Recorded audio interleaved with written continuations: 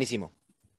Amigos, pues tenemos al dios del fantasy, muchos dirán, no sé si, si Mau también lo crea, pero antes que nada les doy la bienvenida a su podcast favorito. También la bienvenida a Mau Gutiérrez. Mau, gracias por el tiempo, por el espacio. Este es tu podcast. Platícame, ¿cómo estás? ¿Emocionado? ¿Feliz? Gabriel, ¿cómo estás? Muchísimas gracias, primero que nada, por la invitación. Sí, emocionado, contento, porque nos viene un fin de semana, eh, quizá el, el, de más emoción, en el que se dan juegos mucho más cerrados, eh, vertiginosos, eh, de esos duelos épicos en la NFL, así que sí, emocionado. Y Dios del Fantasy, creo que solo hay uno y es la Daniel Tomlinson.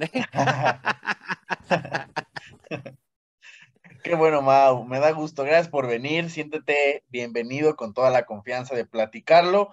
Mau, para empezar, rápido, así, eh, como un two-minute drill, en tres palabras, ¿cómo te definirías? Uy, apasionado al fantasy fútbol. Ok. Eh, ¿Dijimos tres palabras o tres minutos? Tres palabras. Ah, apasionado a fantasy. apasionado fantasy fútbol, punto. Ok, ok. Ahora, eh, vayamos un poco en retrospectiva, Mau, a lo que fue, a lo que ha sido tu vida. Muchos ya saben que eres creador de fantasy, escribes, das consejos, le ganas a uno que otro también en el fantasy, pero ¿cómo podemos describir tu infancia, Mau?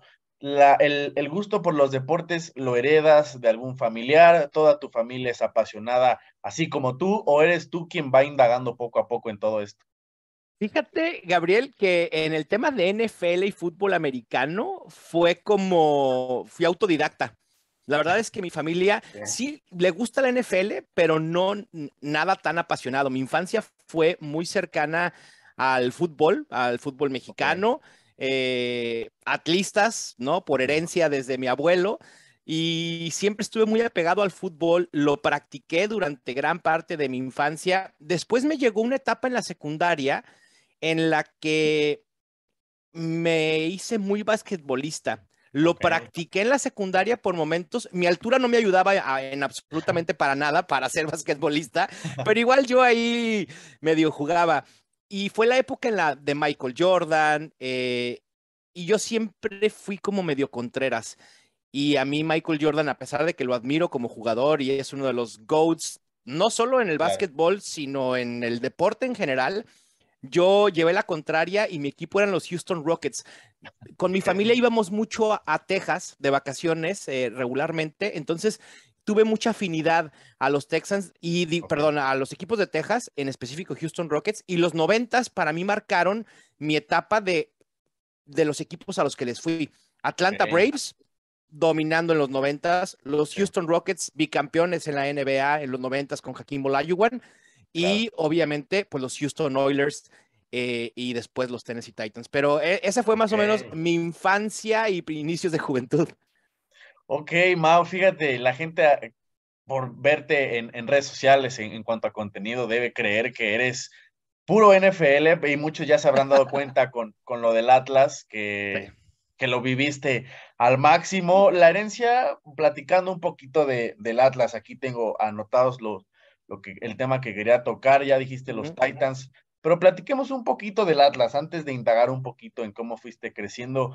¿Cómo has vivido, cómo se vive siendo apasionado del Atlas? En este podcast ya tuve al buen Tibo Elguea, que también apasionado al Atlas a morir.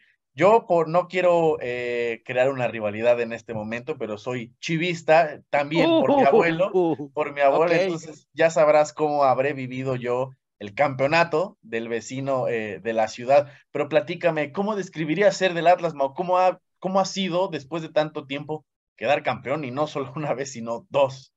Hasta hace un año eh, era, o sea, ser atlista era sufrir, tal cual, ¿no? O sea, sufrir y sufrir y sufrir.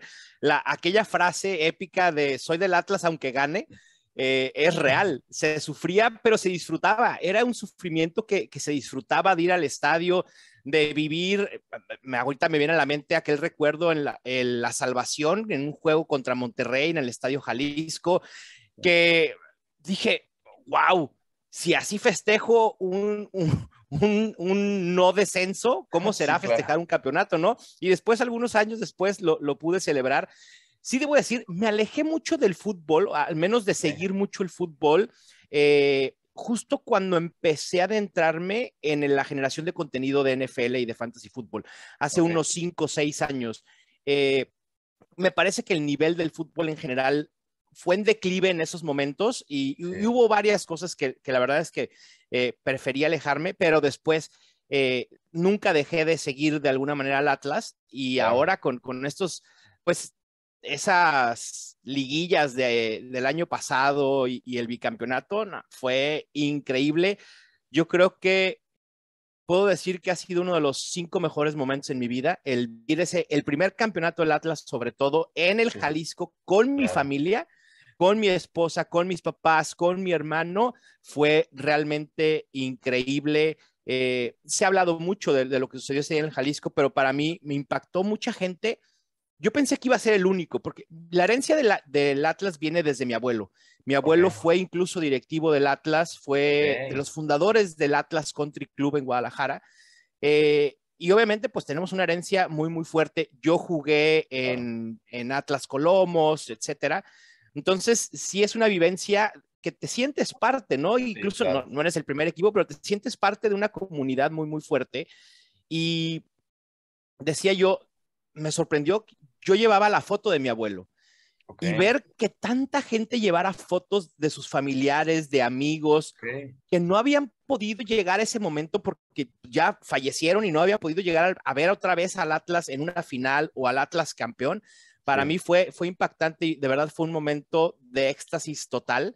Eh, y como decíamos, no hay, o sea, lo puedes planear y puedes decir, uy, voy a hacer esto y lo otro el día que el Atlas quede campeón, eh, haces lo que te nace. Eh, sí, claro. Y la verdad es que fue, fue increíble, un momento de verdad épico en lo personal y bueno, para todos los atlistas sin duda. Y fíjate, Maul, eh, digo, ya platicaste un poquito de, de, tus equipos, tienen algo en particular que no son esos equipos que mucha gente sigue o que quizás son los más populares, ¿no? De eso mucha gente cuando hablas de un deporte en especial, no sé, del NFL, Dallas, San Francisco, Patriotas. Yo, por ejemplo, digo, le voy a las Chivas, que es popular, pero en, el fútbol americano le voy a Arizona, eh, mm. en, el béisbol le voy a los Padres. Entonces son equipos que también no están acostumbrados a ganar. Y creo que en general, o en especial, esa sensación de de no saber cómo explicar lo que se siente apoyar a tus equipos, me imagino, y, yo te lo juro, también lo vivo así, es una forma inexplicable. Muchas veces la gente dice, ¿por qué estás tan picado en los deportes? Pero es que creo que no hay forma de explicarlo, ¿no crees? Sí, totalmente. A veces es inexplicable. Y sobre todo, como tú dices, yéndole a equipos que regularmente no suelen ganar campeonatos, ¿no? Porque es, es muy difícil justificar el, ¿por qué le vas a un equipo que nunca gana, que nunca has visto campeón a lo mejor? y es bien, bien difícil. A mí me pasó, como lo decía, una por Contreras, porque siempre le iba, normalmente tengo afinidad por el underdog, ¿no? Normalmente me, gusta irle al que tiene pocas posibilidades. Y en ese sentido me volví aficionado a mis equipos, pero en los noventas, bueno, los Oilers eran un equipazo, los Braves eran un equipazo. Eh, y quizá con los Braves rompí el molde un poco, pero después de los noventas, bueno, a pesar de que tuvieron buenas temporadas, vino una, una sequía muy, muy fuerte. Ok, oye, y ya, ya tocaste el tema ahora de, de, los que ahora son los, los Tennessee Titans. ¿Cómo es que ahora eres parte de, de, los Oilers? Ya platicaste que eres un poco más apegado por el hecho de que visitabas Texas, etcétera, etcétera. Este cambio de nombre, el cambio de equipo, quizás la ciudad, el ahora que compiten contra un equipo que es de Houston, de Texas como tal, y son rivales divisionales, que bueno, es muy joven los Texans y, y hacen todo lo, lo, que debería estar mal. ¿Cómo es que te apegas o, o cómo describirías ser ahora de los Titans? Digo, yo tengo 20 años, no puedo hablarte mucho de, que yo lo haya visto, pero mi papá le va a los Rams, entonces tengo muy presente el Super Bowl en repetición. ¿Cómo es tu pasión a los Titans, Mau? Ese tipo de derrotas también complicadas, el verlos llegar un pasito y quedarte tan cerca, esa parte también, ¿cómo la describirías tú? E, es como el Atlas, o sea, yo ya yéndole al Atlas, ya cualquier cosa de otro equipo que no llegue a, ganar nada, e, es, da igual, ¿no? O sea, dices, ah, esto ya, ya lo sé, lo, lo vivo todos los días. Con los Titans fue muy curioso porque cuando cambian de ciudad, que, se mudan de Houston a Nashville, eh, con un cambio de nombre inminente, a pesar de que las primeras dos temporadas se llamaban los eh, Titans, eh, perdón, Tennessee Oilers, fue, tuve que tomar la decisión. La verdad es que sí lo consideré decir, le, le, voy a seguir yendo a este equipo que, con el que no tengo, pues realmente ninguna afinidad, porque Nashville nunca he visitado Nashville, no conozco Tennessee, probablemente ni siquiera había sabido que existía el estado de Tennessee hasta que los Titans eh, eh, se, mudan para allá, ¿no? Un estado con el que no tenía ninguna afinidad, eh, un posible cambio de nombre, de identidad.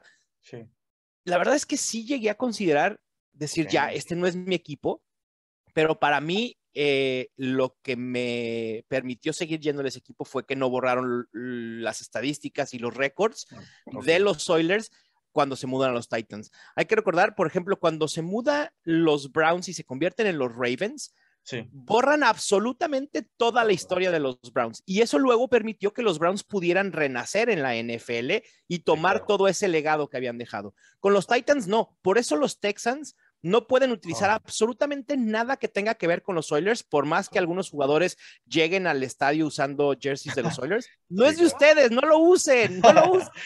ustedes no son los Oilers.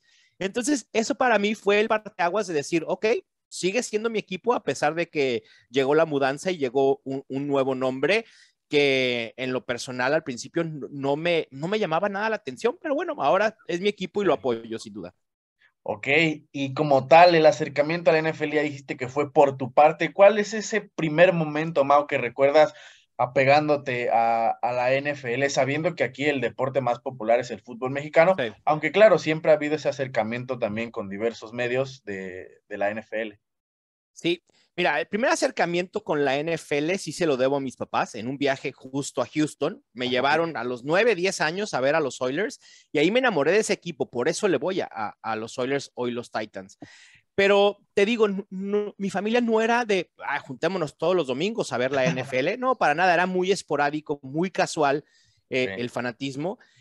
Y yo después, probablemente secundaria, prepa, empiezo a los domingos poner los juegos y me empieza a apasionar mucho el deporte.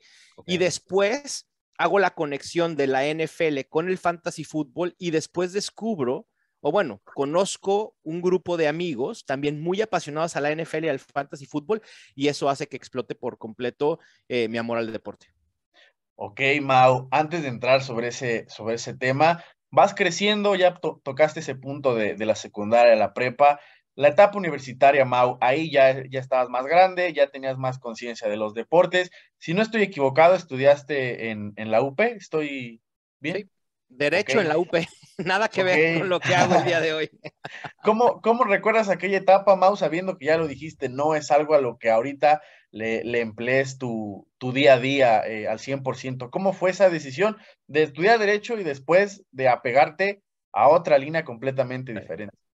Al igual que el atlismo, el derecho es por herencia. Mi abuelo, mi papá fueron, eh, son abogados, bueno, mi abuelo fue, mi, papá es abogado también, estudió derecho y siempre estuve muy apegado a, eso. Mi abuelo fue notario en Guadalajara y yo me acuerdo que mis veranos a veces era, hey, échenos la mano acá en la notaría y sacando copias, cosas así. Entonces siempre fui como muy, siempre estuvo muy de la mano mi, mi crecimiento con la abogacía. Entonces era como natural la decisión, además que me, apasionaba. Siempre fui muy de, ciencias sociales, eh, historia, eh, derecho y por ahí comunicaciones también en algún momento lo, consideré.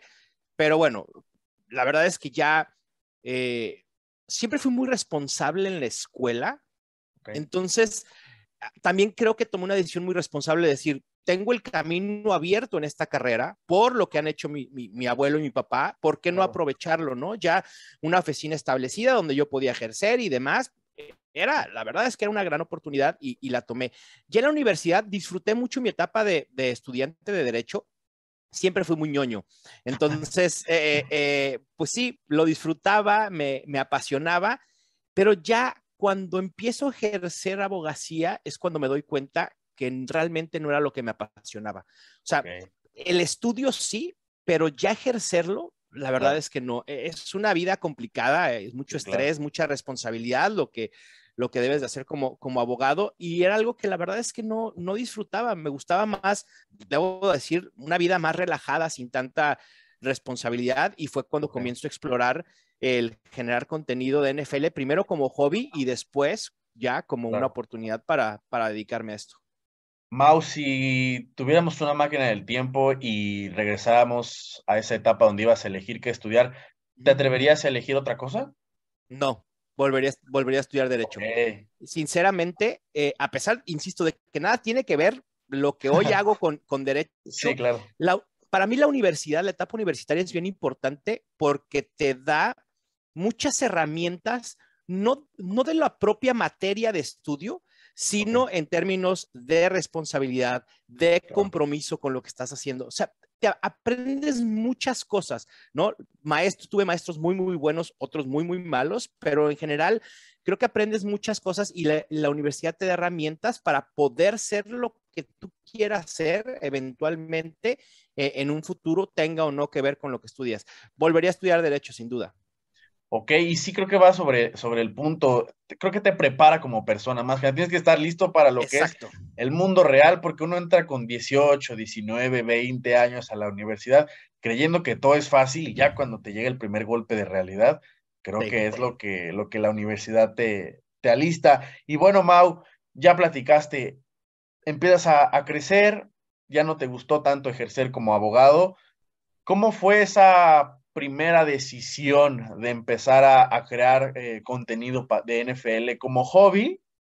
Y si fue solo o fue con los mismos amigos con los que me platicas? Eh, no, de hecho fue, fue solo. Eh, yo siempre traía, siempre me, gustó escribir, me gustó investigar, analizar, ¿no? Y ya muy metido en la NFL y el fantasy fútbol, veo en, no sé si fue Twitter, Internet, no me acuerdo, una convocatoria de una página que se llamaba Grada Central, donde estaban buscando aficionados que querían escribir de, de NFL. Y dije, ah, puede ser una, un buen hobby, ¿no? Escribir de NFL y a ver hasta dónde llega esto. Jamás pensé eh, en ese momento que sería algo a lo que me pudiera dedicar, sinceramente. O sea, lo hice meramente de hobby eh, y esta etapa con Grada Central duró unos dos años probablemente. Y obviamente a base de dedicación, de mucho esfuerzo, compromiso, me convertí en el escritor más regular de la página, en el que nunca faltaba con su artículo semanal, a la hora que me lo pedían, con, muy puntual con las entregas, etcétera, etcétera, etcétera. Después esta página, eh, justo yo creo que unos meses antes de que iba a desaparecer, le dije, oigan, ¿por qué no como parte de esta también, una parte propositiva que creo que es bien importante en nuestro medio, de estar proponiendo cosas, aunque no te lo pidan. Eh, dije, ¿por qué no abrimos una sección de fantasy fútbol? Nadie está escribiendo de fantasy fútbol en español. Me dicen, ¿sabes qué? Es muy buena idea, pero vamos a cerrar el sitio. El sitio me lo quisieron dejar a mí, pero la verdad es que financieramente no me convenía. Eh, el, el, precio que se puso a la página no lo podía pagar en ese momento y y ahí es cuando decido justamente, me quedo sin foro para escribir y digo, ¿qué hago? Yo ya, ya estaba mucho más metido en fantasy que en NFL, aunque yo escribía de NFL, pero yo, yo tenía ese feeling de que el fantasy fútbol eventualmente podía explotar como ya lo había hecho en Estados Unidos en el mercado latinoamericano y dije, no, tengo que hacer algo enfocado a fantasy fútbol y ahí después de varios meses eh, surge Estadio Fantasy. Ok, o sea, entonces estamos hablando de qué año fue.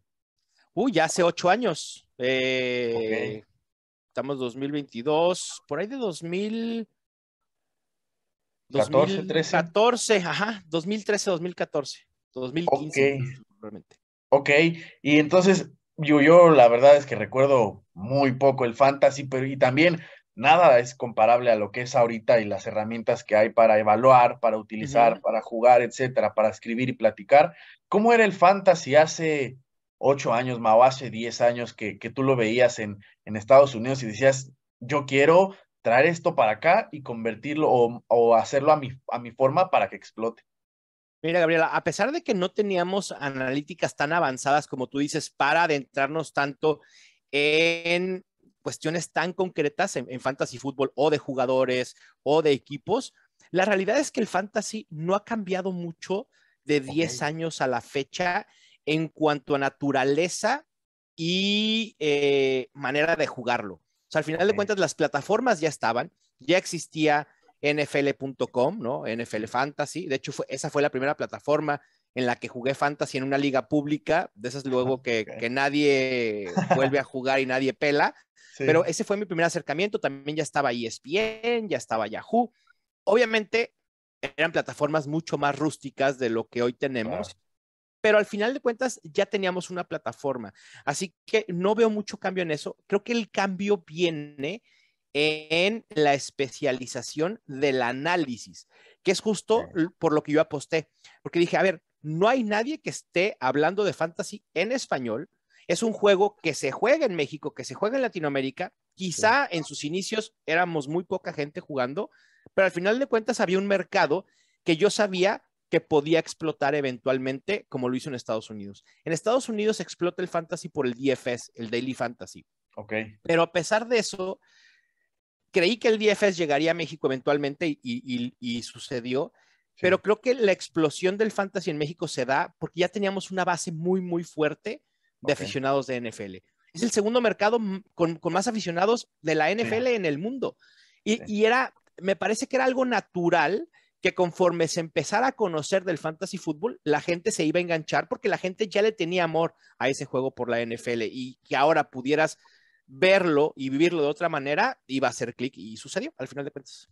Aparte, ya lo dijiste, es un mercado que la afición mexicana con todo esto siempre fue apasionada y el tener la oportunidad de jugarlo y, verlo y vivirlo, creo que también le da otro feeling. Sentarte los domingos antes de las 12 del día, preparar tu, alineación y aunque sea un Jaguars Texans, tienes al receptor uno de cualquiera de estos dos equipos, por más que vayan eh, con un récord negativo ambos, que ahorita los Jaguars ya cambió esa narrativa, pero creo que es esa parte que ha creado el fantasy, creo que también mucho es en relación, ya lo dijiste, al daily fantasy, también dos tipos de, de eh, ¿cómo decirlo? Mercados eh, que han explotado y que han hecho que también la afición mexicana, tanto nuevos como viejos, se unan y creo que hoy en día la comunidad de, de NFL Fantasy en español, me parece que es fantástica y todo lo que, lo que ahora se ha creado, sobre todo estos últimos par años que yo lo, me ha tocado verlo, amigos que se han involucrado un poco más, me parece que el, crecimiento ha sido,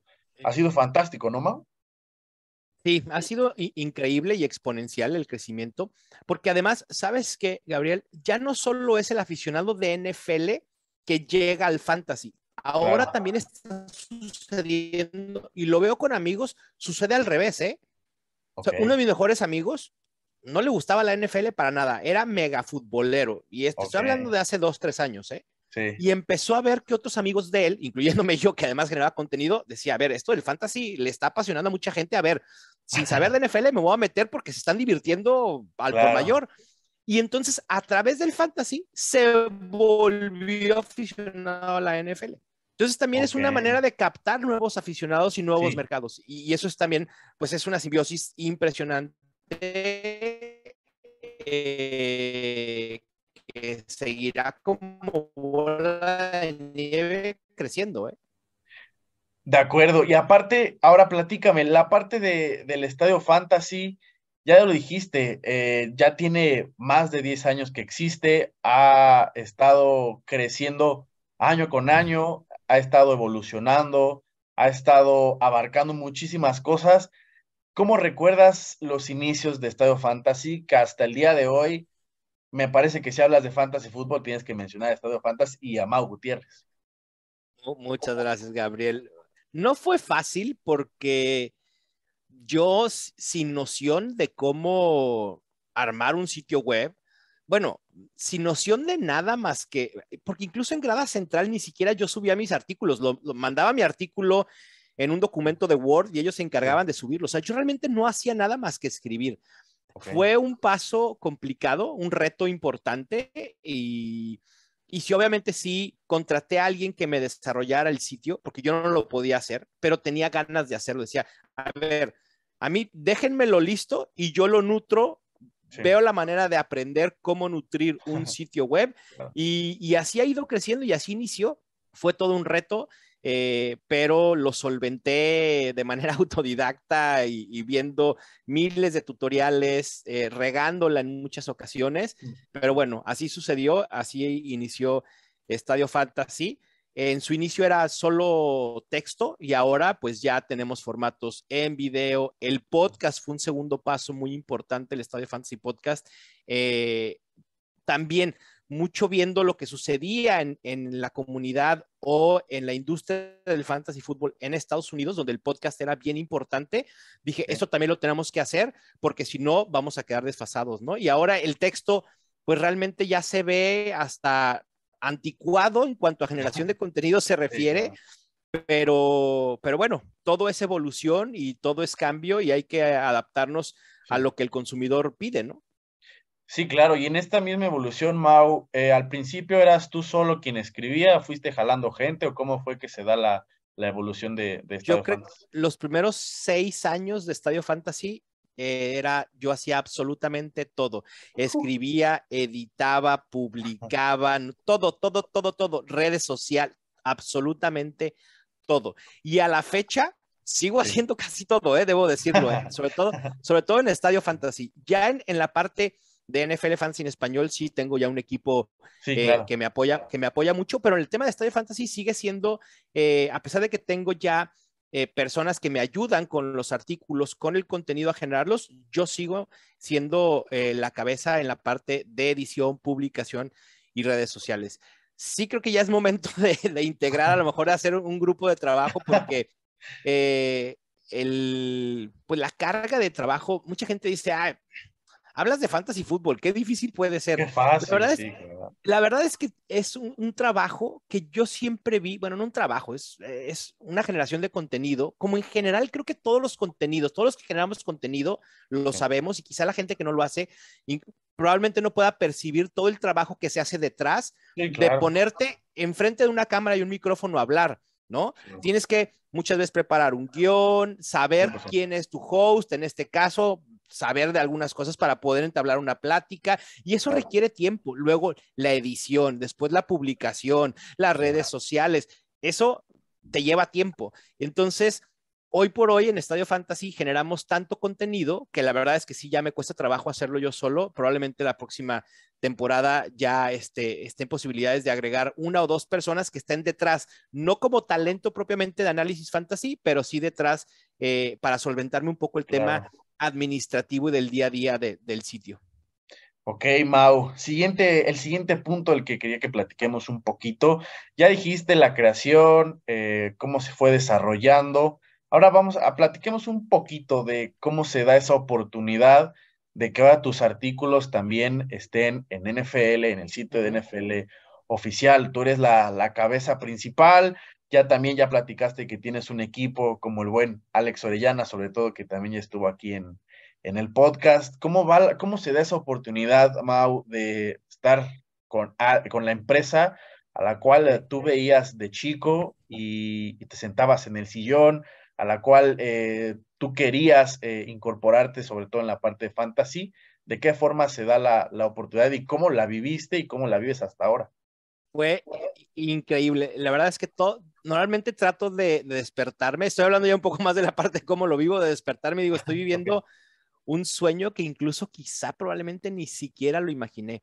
Sí llegó un momento cuando empecé a generar contenido de Estadio Fantasy que empezó a tener crecimientos y dije, probablemente esto pueda resultar en algo mucho más, ¿no? Y que quizá, no sé, piensas en Yahoo, piensas en ESPN, piensas en Televisa, Fox Sports, ¿no? Y NFL también, dices, a lo mejor alguna vez se van a animar a generar contenido de fantasy fútbol y puedan voltear a ver lo que estamos haciendo en Estadio Fantasy, ¿no? Sí, sí llegó a pasar por mi mente eh, previo a que se diera la oportunidad con NFL, pero hace tres años eh, me contacta la NFL y me dicen, oye, ¿sabes qué? Eh, sabemos de la importancia del fantasy fútbol, queremos empezar a explorar la posibilidad de generar algo de contenido de fantasy. Así que échanos una propuesta eh, la analizamos y vemos si, si va o no va.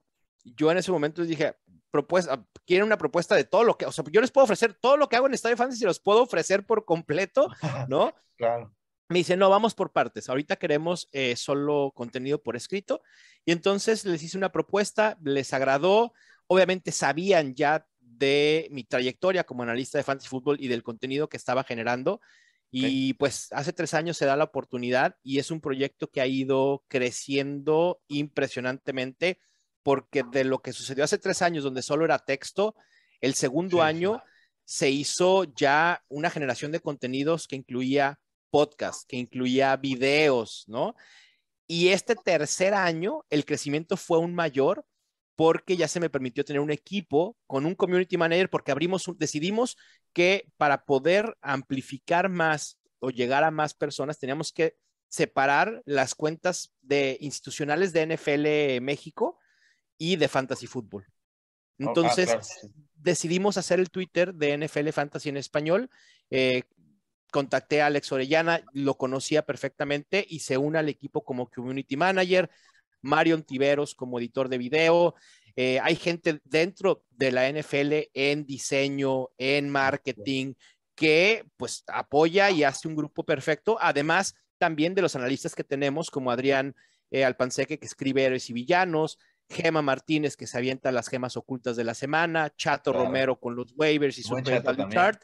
Entonces, la verdad es que la NFL me permitió armar un muy buen grupo y mucho más rápido de lo que yo creí, esto creció a, rangos que de verdad yo no lo esperaba, porque también llegó un momento, Gabriel, en que dije, a ver, sí, soy cabeza yo de este proyecto, pero no quiero todo para mí, quiero darle oportunidad a gente que está interesada en generar contenidos. Y entonces, poderle dar espacio a esa gente que estaba picando piedra, como yo lo hice mucho tiempo, para mí fue realmente increíble eh, el poder dejar o abrirles la puerta a la generación de contenido de fantasy de alguna manera a, más personas y eso ha sido de verdad increíble y probablemente de lo que más satisfacción me ha dado eh, de todo. Pero bueno, también me encanta la generación de contenido y, no quiero dejarlo de hacer, ¿no? Por más que me dedique a muchas otras cosas detrás, ¿no? Eh, la generación de contenido me, apasiona mucho y por eso pues, tenemos los podcasts y demás. Aparte, justamente ya dijiste, tomaste un equipo de trabajo con las mismas ganas, incluso más, de hacer crecer todo esto. Y yo recuerdo cuando se abre ese Twitter, felicito al buen Alex Orellana y a la fecha creo que el impacto ha sido, no sé si como lo esperabas, porque yo lo que veo ha sido mucho más grande, ¿no?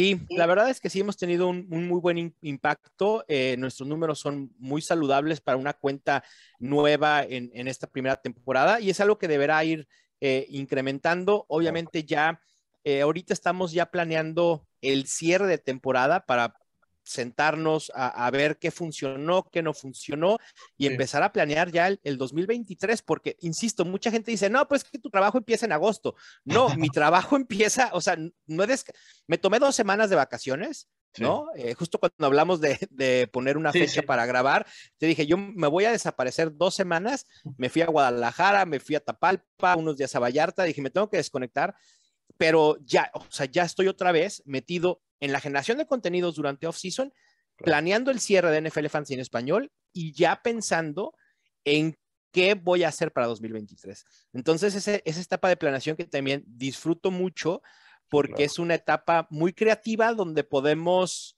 pensar qué hacer, qué no hacer, qué funcionó, qué no funcionó. Entonces, eh, eh, realmente, sí, como generador de contenido de fantasy, cabeza del proyecto de NFL Fantasy en español, pues no hay, no hay descanso. A pesar de que no hay fantasy, no descanso. Yo sigo trabajando en febrero, marzo, abril, etcétera. Claro. Vamos, sobre esa misma línea estábamos platicando sobre la parte creativa, que a veces es una parte, no sé cómo lo veas tú, por ejemplo, yo te lo platico desde mi podcast, que literalmente soy yo, y tengo que estar pensando en ideas, invitados, nuevas cosas, sobre todo para no volver eh, un producto monótono, ¿sabes? Que la gente vea que hay nuevas cosas, nuevas intenciones, para que no se, se acostumbren siempre a lo mismo. Tu parte creativa, eh, Mau, ¿cómo llega? ¿Te tomas unos días tú solo? ¿Te sientas? Eh, ¿Te despiertas temprano? ¿Tienes algo en específico que te ayude abrir la mente y jalar nuevas ideas? ¿Lo haces en equipo? ¿De qué forma Mau Gutiérrez jala nuevas ideas para seguir creando todo lo que ya platicamos que creas? La, verdad, Gabriel, te, voy a ser muy sincero, tengo una cabeza que se revoluciona demasiado.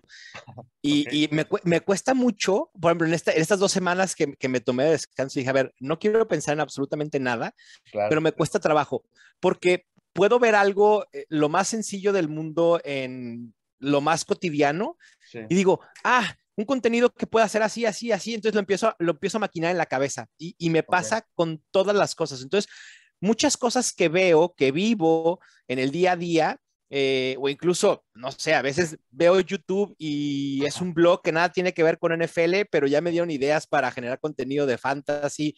Entonces, la verdad es que creo que mi mente no descansa y en cualquier momento es bueno para ponerme de creativo. Si llega el momento en el que dices, a ver, sí, me tengo que relajar y pensar exclusivamente en, en o sea, ponerte creativo, ¿no? Y, como que eh, quitarte el ruido que puede haber y de enfocar, porque también a veces con una mente tan revolucionada tienes mil ideas que no todas son buenas por, por sí. Entonces Tienes, que, tienes que enfocarte y saber muy bien cuáles son los objetivos, ¿no? Entonces, eh, no tengo como un momento así de, ah, ahorita me voy a poner creativo. No, sinceramente es... pasa? Cualquier momento es bueno, sí. Por ejemplo, alguna vez, y es todavía un proyecto que tengo, eh, que tengo todavía como que ganas de hacer, pero a veces me falta también tiempo para, para poder aterrizar, ¿no? Eso es, que tiene que ver con Star Wars y, y Fantasy. Cierto, sí, sí, sí.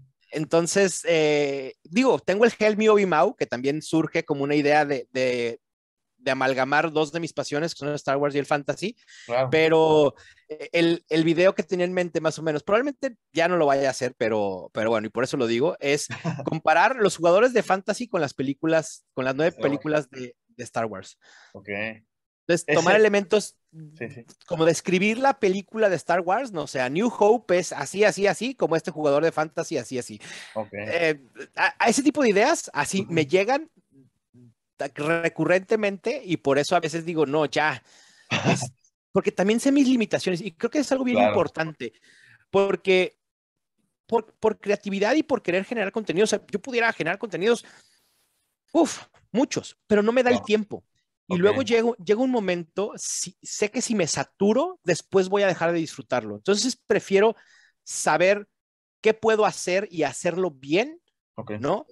Que, abarcar demasiadas cosas y que algo quede mal, porque también sí soy muy exigente conmigo mismo en cuanto a calidad, en cuanto a contenidos, eh, en cuanto a tomarlo, a pesar de que el fantasy fútbol es un juego, me gusta al menos mi parte hacerla de manera seria, ¿no? Claro. Eh, digo, puede ser chistosa, puede ser divertida, pero tomarlo con seriedad con lo que estás haciendo.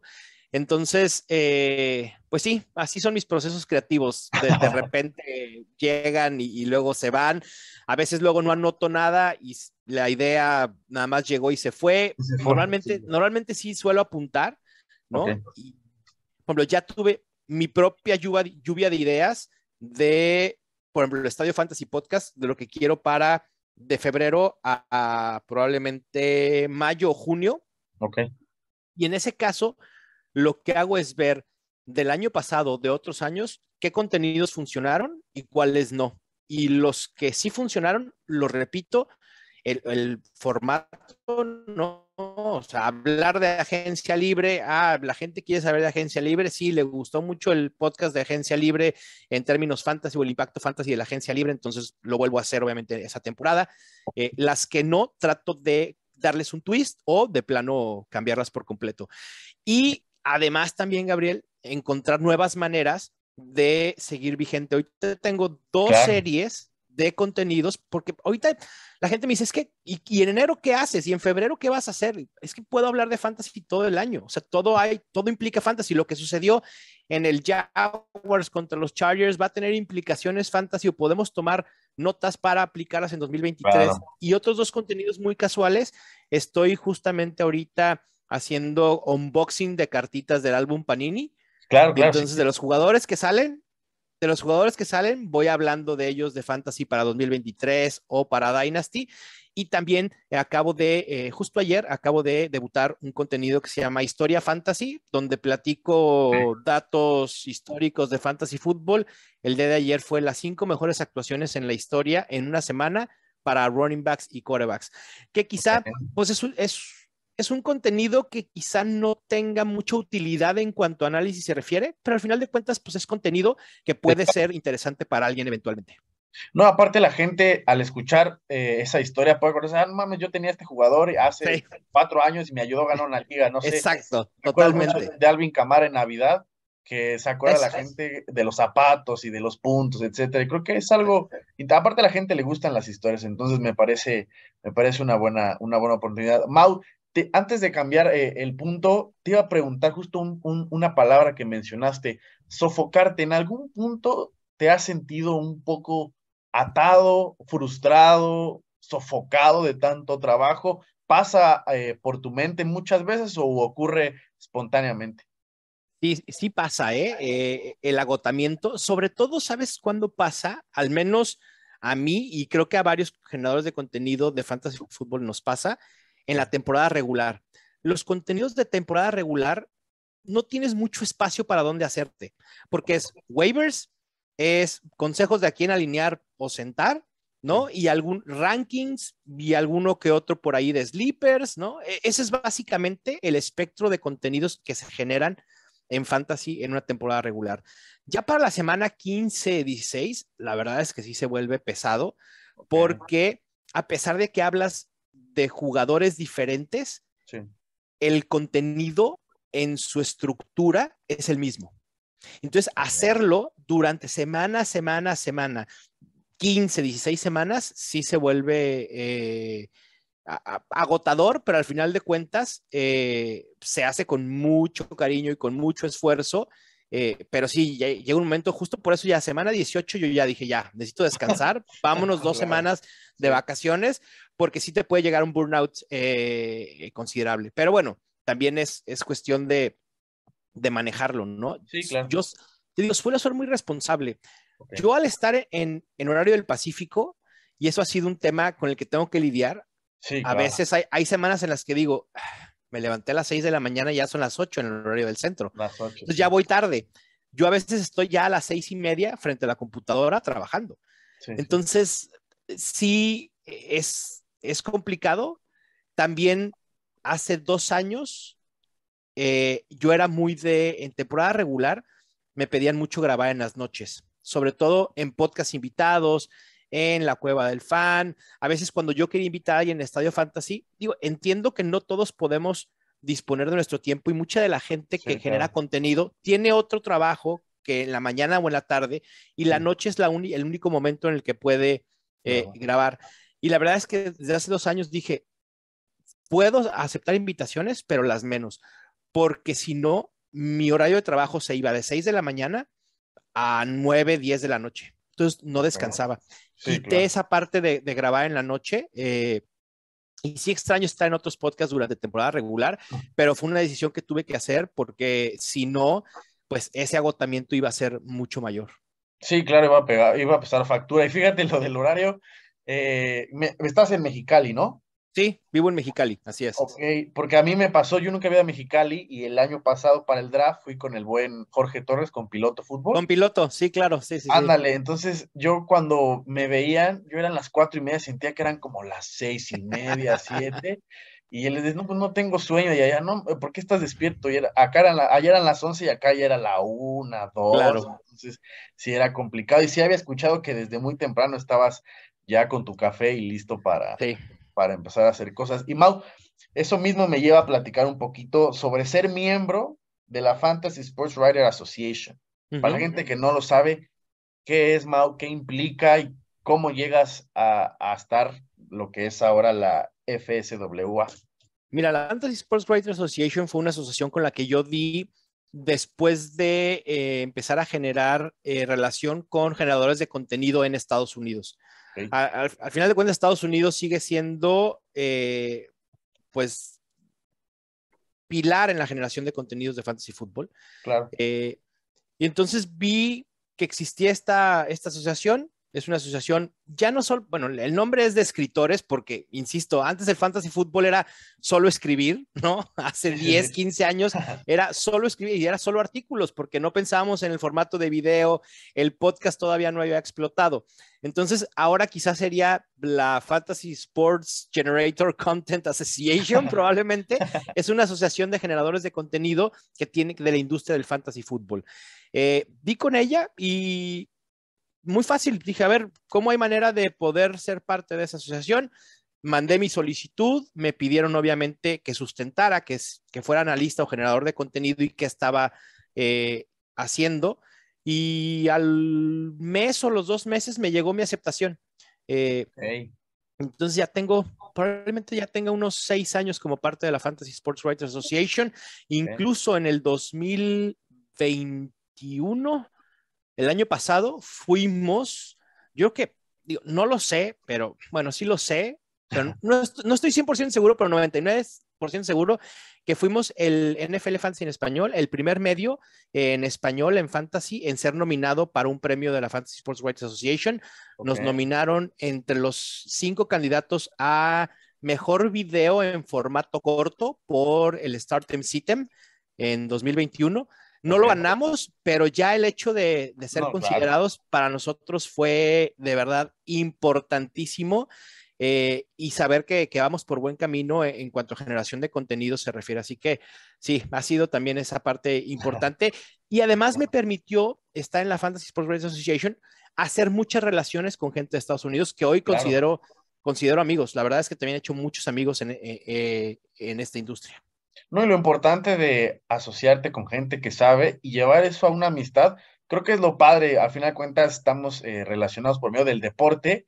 Ya después implica eh, el fantasy fútbol, pero el deporte creo que sí deja las, unas grandes amistades, ya sea como contenido, etcétera, etcétera, etcétera. Mau, ya que seguimos hablando de fantasy antes de cambiar de tema, eso mismo, por ahí yo había visto fotos eh, yendo tú ya a coberturas de Super Bowl, Ah, eh, no sé si te acuerdas que nos vimos por ahí en, uno de los eventos en Arizona, estábamos formados para la foto con, con Rolly Cantú, no sé si te acuerdas, ahí en el Chile. Ah, claro, sí, sí, sí, eh, para el NFL Mexico Game, sí, por supuesto. Ándale, el juego de NFL Mexico Game, todos estos eh, eventos importantes, ahora ya vas como parte del equipo de NFL.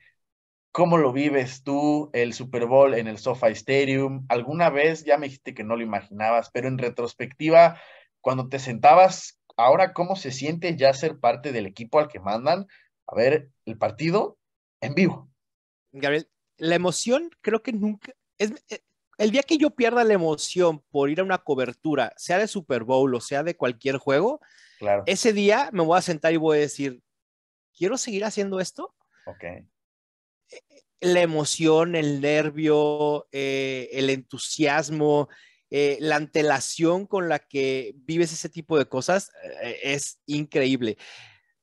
Mis coberturas en Super Bowl empezaron en semanas previas al Super Bowl. Todo lo que pasa de lunes a sábado en una semana del Super Bowl. Mi primera cobertura fue justo en Arizona, en aquel Super Bowl entre Seahawks y los Patriots. Claro. Tuve la oportunidad de ser acreditado para Máximo Avance de Arturo Carlos. Sí. Eh, me dieron la oportunidad de, trabajar para ellos en, esa cobertura. Me tocó cubrir a los Seahawks de manera muy personal en sus conferencias de prensa y en los eventos de previos al Super Bowl. Y fue una experiencia muy, muy padre. Después lo repetí en Miami. Tuve que pasar varios años, lo repetí en Miami. Eh, y sí fue así como que dije, a ver, pues el siguiente paso es poder estar en un juego. Pero también te soy muy sincero. Dije, a ver, soy analista de fantasy fútbol. ¿Qué tiene que ver el fantasy fútbol con el Super Bowl? Muy poco, la verdad es que muy poco, ¿no? Y entonces dije, quizá es algo que, igual no voy a lograr, pero para mí mi Super Bowl era otro, era la semana previa, después eh, poder ir a la Fantasy eh, Expo en Canton, Ohio. También Ese, tipo, ese tipo de cosas eran como mi Super Bowl por lo de Fantasy se refiere. Pero después llega la oportunidad que en NFL me empiezan a tomar en cuenta para no solo generar contenidos de fantasy fútbol, sino también de NFL en coberturas. Y ahí fue cuando dije, ok, existe la posibilidad. Y el año pasado eh, me anuncian que, voy a Super Bowl como parte del equipo de, generación de contenido y talento de NFL y fue así como, no me la creo. De verdad fue cuando veo el mensaje, fue así de, me tuve que sentar, dije, wow. Claro. Y fue, fue más o menos una, una, reacción similar, Gabriel, a la que tuve cuando me dijeron que habían aprobado mi plan de contenidos para, para Fantasy Football en NFL. Eh, son esos momentos en que dices, todo valió la pena, sí. todo el esfuerzo, los desvelos, los corajes, el empezar desde cero, sí, sí. sin saber hacer un blog, sin saber hacer un podcast, ¿no? Eh, y dices, wow, todo valió la pena. Y sí, te confirma, se va a oír bien trillado y van a decir, ay, todo el mundo dice lo mismo. No me importa, es real. Si lo quieres, se puede. Sí, claro. La verdad. Claro. La hay, verdad hay, es que, que, hay, que, trabajar y ser paciente. ¿no? Sí, ser paciente y ser constante. Para mí la claro. palabra que siempre digo en esta industria, hay que ser muy, muy constantes.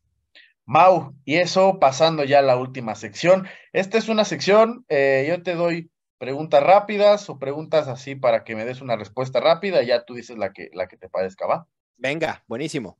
La mejor película de Star Wars. Eh, el Imperio contraataca, sin duda, por mucho. La peor película de Star Wars. No existe. Ok, ni, a, ni, ni, la que. ni las nuevas. A todas. A todas ver, tienen. me gustan menos. Ok, pero no es mala. Pero. Eh, o no es peor, no es, no es Exacto, no hay una peor. Exacto. ok, ok. El mejor Jedi dejando al lado los que son los más populares. Uy, es muy buena pregunta. ¿Mace Window aplica como más popular? No, podemos ponerlo porque. Ok, no es... va. Me gusta Mace Window. Sobre todo ese lightsaber morado. Sí, Uf. claro. Jamaica horchata. Eh, horchata. De fresa. De, Guadalajara. Ok, la voy a probar. Hay una amigo Buenísima. Voy a ir a probarla. Sí, son muy buenas. Las venden. No, no, no, no voy a dar, no te creas, no voy a dar comerciales. okay, Luego okay. te digo a ti. ¿Frío o calor? Eh, punto medio. Es, es muy difícil. No, prefiero el frío. Bien. ¿Tu ciudad favorita de México que no sea Mexicali, Guadalajara y la Ciudad de México? Que hayas visitado. Eh... ¿Se puede pueblito? Sí, claro, obvio. Estoy entre Tapalpa y Acumal. Acumal okay. es una, una, de las playas más fregonas que he visitado en mi vida y está cerca de Playa del Carmen. Y Tapalpa es un pueblito muy cerca de Guadalajara en la montaña. Ok, tengo que ir a los dos. ¿Tu ídolo de la infancia? War Moon. Ok, la derrota que más te dolió siendo de los Titans y siendo del Atlas. La derrota que más me dolió de los Titans, el Super Bowl contra los Rams. Que se quedó a nada. Sí, a nada de poderlo, tener oportunidad de empatarlo. Sí, y claro. la, del, la del Atlas, la final contra Toluca en el 99. Uf, esa también es muy buena. Que bueno, fue un empate, pero la perdimos en penales. Sí, claro, claro. sí. El jugador que odias u odiabas de la NFL, ¿tienes alguno? Nadie. No, nunca odié a nadie. Eh, no, o sea, hay, hay, hay, jugadores con los que no, no me no relacionaba y no me caen bien, pero así como odiar, no. Probablemente Heinz Ward se me hacía muy cochino. ok. ¿Ídolo en el fútbol? Uf. En el fútbol. No importa ah. si es retro. No, va, va, a tener que ser retro, digo. bueno, es que después de lo del Atlas, te pudiera decir al 11 o a los 20 de, de ese plantel, ¿no? Eh, incluso Diego Coca, pero eh, yo creo que ah, es que tengo muchos jugadores que, que, me marcaron mucho. Michel Platini, por ejemplo, ya, pero ya me fui súper old. No, sabe, sabe. Ok, ok. Te digo, siempre fue muy Contreras. Tengo una anécdota en la que mi mamá, mi papá no quiso ir ese día, pero mi papá, yo estaba muy chico y de verdad ni siquiera me acuerdo. Sí. Sé porque me lo han platicado. Eh, me llevan mi mamá, unos amigos de la familia y yo fuimos a ver el Brasil-Francia de, creo que fue cuartos de final en el 86, en el Mundial del 86, en el Estadio Jalisco. Todo el estadio era brasileño, como no tienes una idea. O sea, era sucursal del Maracaná aquello. Ok. El niño Mauricio decide irle a Francia. Bien, estuvo bien. Sí, Aparte, entonces... todos callados en un gol de Francia y tú gritándolo. A... Sí, sí, es que todo el mundo me volteaba a ver así como, bueno, y este infiltrado, sí, claro. ¿de dónde vino, no? Este, okay. También Berizo, por ejemplo, de la etapa de, atli de, de atlista, sí. Berizo, uff, era jugadorazo, me, me, gustaba muchísimo. De hecho, yo usé mucho tiempo el 2 cuando Ah, jugué ¿sí? en, At- en Atlas Colomos por Berizo. Ok. Pastor o suadero. Pastor, por 100%. mucho. Bien. Sí, sí, sí. Playa o montaña. Ah, es, es bien difícil decidir, Sí, pero playa. El, el mar tiene algo que me llama muchísimo la atención. Ok. Ya te dije que soy chiva, así que esta pregunta va con jiribilla. Omar Bravo en una palabra. Salvador, Ok. ¿Quién va a llegar al Super Bowl y quién lo va a ganar? ¿quién va a llegar al Super Bowl? Creo que del lado de la nacional lo tengo relativamente claro y creo que es Philadelphia Eagles. Del lado de la americana tengo dos candidatos, son Bills o Bengals. Creo que los Chiefs van a perder el- el- la final de conferencia. Eh, en mi Super Bowl Challenge fui con los Bills, pero ahora creo que veo más fuerte a los Bengals. También voy con. Justo ese es mi Super Bowl también, Bengals, ¿Y, Filadelfia. y quién lo gana? Ah, me gustaría que lo ganaran los Bengals ahora. Bien, ok. Es eh, cábala con la gorra, ¿no? Sí, exacto, por eso la gorra de los Bengals, que justo es la del Super Bowl pasado. Sí, Ya, claro. Sí, sí, sí, de los Rams, ¿no? Sí. Un Quería jugador. comprar, quería comprar un jersey Sí. de Joe Mixon, pero estaba muy caro. Me, me- me conformé con la gorra.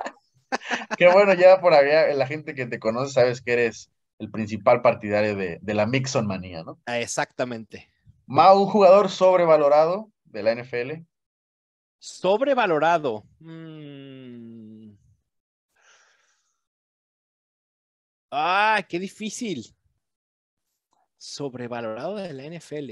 Está muy difícil. Haces preguntas muy difíciles, Gabriel. es que esta es una, la última sección.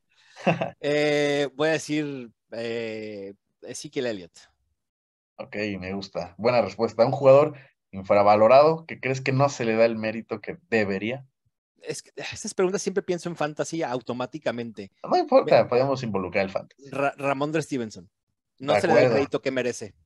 Ok, el mejor Super Bowl que has visto. El mejor Super Bowl que he visto, el comeback de los Patriots frente a los Falcons. O sea que eh, lo vi en la tele, ¿no? Sí, Obviamente. sí, claro, vi. claro. Ok. Ese comeback fue impresionante. Ryan Tannehill es, es el futuro a dos o tres años en los Titans, ¿sí o no? No, rotundo no. ¿Botana favorita? Mm. Soy muy de botanas, pero no tengo una así como favorita. ¿O la que más comes? Papitas, yo creo. Ok, ¿de las que sea? Sí, sí, Ok. puedo, la verdad es que soy muy papero y las, las que sean, digo, hay algunas que sí no me gustan y algunas que me gustan más. Ok. Luego tengo gustos muy raros como el, los fritos chorizo chipotle que a nadie le gusta. A mí sí me gustan esos, son Ah, muy sí, buenos. son muy buenos. buenos, Sí, son buenos, sí. Incluso diría que son mejor que los amarillos. Sí, yo también creo, ¿eh? Sí. Bien, me gusta, Mao. Top 5 para el próximo año en Fantasy. Ok, es buena pregunta. Sin orden en particular, Christian. McCaffrey, Saquon Barkley, Justin Jefferson, Jamar Chase. Y en el quinto estoy pensando o poner otro running back o meter a Travis Kelsey. Ok, otro running back que podría ser quién. Un ¿Cualquiera? running back. No, pudiera ser. Henry. eh, ah, Derrick Henry. Austin. Fíjate, Tengo, tengo dos temporadas, Gabriel, Ah. equivocándome con, Austin- con, con Derrick Henry. Y decir, va a venir el bajón, va a venir el bajón y el Sí, no, bajón no, no. llega. Y creo Sí. que si este año estoy del otro lado, entonces sí va a llegar el bajón. prefiero sí, sí. decir Que, que va a haber bajón otra vez. Eh, creo que sí puede ser Austin Eckler. Ok. Y Mau, las últimas dos. Si tuvieras al Mau Gutiérrez, que apenas empezó a ir a, a Houston, eh, que fue y vio en la final eh, del Atlas en el 99, que perdieron, aquel que empezó escribiendo solo, de forma muy cumplidora, ¿qué le dirías, Mau? No cambies absolutamente nada, sé constante y persigue lo que quieres sin importar lo que te digan los demás. Ok. Por último, Mau, ¿tú qué consejo le podrías dar a la gente que tiene un sueño, una meta, que está a medio camino, que no encuentra el rumbo? ¿Qué consejo le podría dar Mau Gutiérrez para, para animarlos o para motivarlos un poco? Ya lo he dicho, las cosas suceden cuando tienen que suceder, pero hay que ponerse en ese camino. Es decir, tú no te vas a poner en ese camino nada más por nomás. Claro. Tienes que buscarlo y a veces tienes que recorrer otros caminos que vas a llegar a una sin salida, a un camino sin salida, pero se va a abrir otra oportunidad y hay que empezar a tomar esas oportunidades. Eh, muchas veces yo mandé infinidad de correos, insisto, ESPN, Yahoo, eh, periódicos, decir, oigan, el fantasy fútbol está haciendo algo importante, hay que generar contenido. Algunas veces me decían no gracias, otras veces me dijeron ni siquiera me respondían. Eh, no hay que desanimarse. Cuando alguien, cuando algo te apasiona o sabes que estás por el camino correcto, a veces las cosas tardan en llegar. Hay que ser muy constantes y hacerlo con mucha pasión. Creo que esas son las dos claves.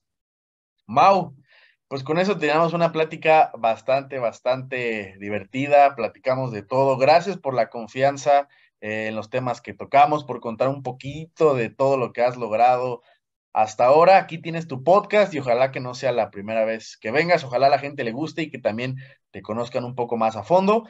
Seguimos en contacto, Mau, aquí tienes tu podcast. Muchísimas gracias, Gabriel. De verdad, disfruté mucho la plática porque es algo, fueron temas de los que normalmente no suelo platicar. Siempre es, a ver, dinos qué jugadores hay que utilizar esta semana en Fantasy Football, ¿no? Y, hablar un poco más en retrospectiva. Además, me hiciste acordarme de muchas cosas muy, muy chidas de mi infancia, de mi juventud eh, y de lo que costó llegar hasta donde estoy. Y eso fue bien, bien chido y lo, valoro mucho. Espero que también quienes estén escuchando el podcast eh, lo hagan. Si están en la generación de contenidos, no se desanimen o en cualquier otro rubro de la vida. Sé que a veces es difícil, pero hay que echarle todas las ganas porque siempre lo bueno llega eventualmente. Muchísimas gracias, Gabriel. Seguramente no será la última vez que, la primera y la última que esté en tu podcast. Felicidades. Gracias.